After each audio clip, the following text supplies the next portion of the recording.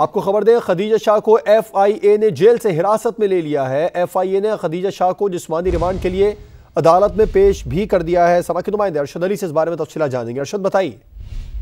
जी, बिल्कुल, जो है जुडिशल मजिस्ट्रेट इमरान आबद की अदालत में एफ़ आई ए हुकाम ने खतीजा शाह को पेश कर दिया है और एफ़ आई ए की जानब से खतीजा शाह का चौदह रोजा जिसमानी रिमांड की अदालत से सदा की गई है, जबकि एफ़ आई ए के लीगल एडवाइजर राना एजाज खलील ने जो है, वो अदालत को बताया कि नौ मई के मौके के ऊपर खतीजा शाह के जो ट्विटर अकाउंट है, वहाँ से ट्वीट किए गए, जिससे जो है, वो इंतज़ार अंगेज जो है, वो ट्वीट होते रहे और अब तक वो ट्वीट जो है, वो रीट्वीट हो रहे हैं।